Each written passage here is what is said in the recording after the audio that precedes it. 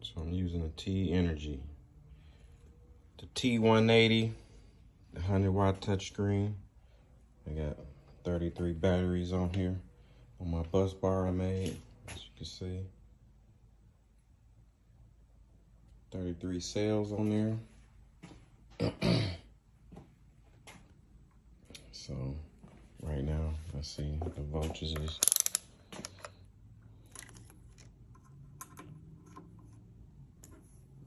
reading that 815.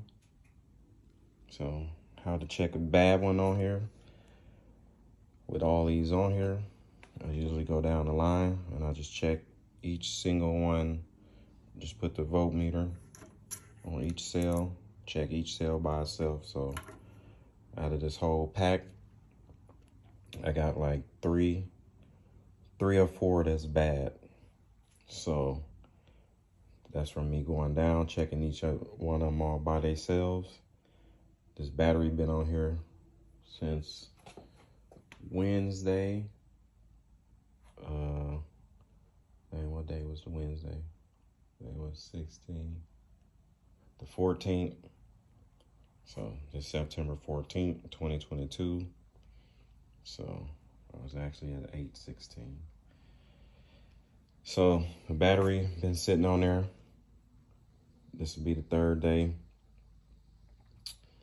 So out of those four cells that I have on here, they haven't been charging. So they went up from 700. So now they like 730 something and 740. So that's been the highest they done went. So now they're not you know, cycling anymore. So I'm gonna leave them on there. We're gonna leave this battery on here for one whole week to get it to stay charged before I actually put it back. Well, I'm actually building a battery, so I'm gonna actually take this battery here. So I'm gonna actually be taking this battery here apart because this battery is bad. So every time it's in the, when it's in the cars, jumping from 30 volts all the way up to 80 some volts when you stop. You get the triangle of death and all that stuff. But it's still capable with driving as long as you got the little scanner to clear the code. So if you clear the code, you can drive pretty much all day long. The codes won't come on. But when you start it back up in the morning, it'll be at 30%.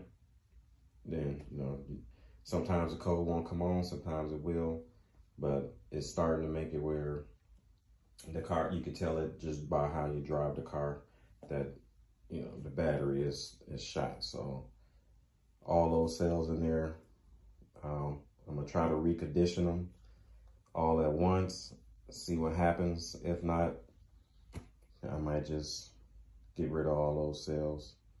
So that's the reason why i got all these cells. So i got plenty of more cells. So those cells, I'm gonna try to recondition. Um, I got these cells right here, gotta go to recycle.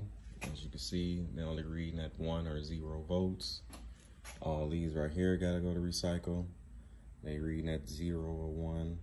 That one up there is at a five, but ain't no good. But I got a whole box, another box. So I'm gonna see where I'm at with those and go from there. But let's not get off the subject. So back to this. So yeah, I'm gonna leave this battery on here for a week. I'm gonna give you guys an update on how this has been acting. So I wanna show you guys my settings. Let's see if I can get this to jump back. So you can see how I got it set on there. So it's acting funny. There you go. All right, so that's my settings. So you got the capacity at 6,500, current amp, five amps. So discharge is at six volts. So it's currently what I'm running everything at. But usually when I run all these, it discharged, it takes a while. So the best thing probably to do is find you something that can actually drain it down more. So I'll hook up a fan that I have. I'll plug a fan up to it. I just hook it up to the rails here. Just run the wires to the rails. Let the fan stay on. It'll discharge them down. Then I just charge them back up with that.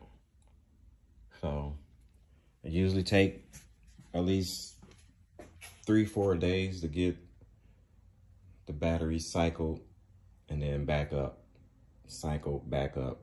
So now this right here is pretty much the last cycle. I'm gonna let it balance. So what I'm gonna do is at 816, I'm gonna recharge it until I get it up to, trying to get it up to at least like 850 volts. And then from there, it's gonna sit all the way until next Thursday. And then I'll give you guys an update on how it turned out. So right now, let's, I'll show you how get it to come on. So from here, just hit the down button. So you can see I got it on charge, discharge, delay timer 20 cycles. I got it on one as of now. You can always just change this to wherever you want, how many times you want it to cycle. So I got mine on one because I stop it every time. So from here, just hold the enter and then just click start and start charging. So it's charging them at a slow rate.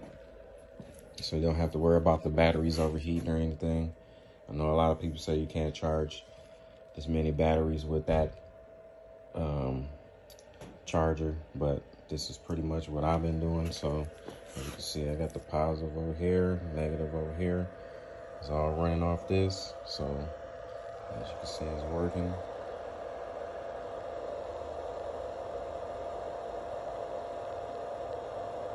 So I'll be back out to check this in maybe an hour or so. See where it's at. So I'm trying to, that's my goal is to get them all up to 850. And then I'm gonna let it sit all the way to next um, Thursday. Pick out the bad ones, take them out, build a whole new pack, then I'll be throwing it into the car. So give you guys an update.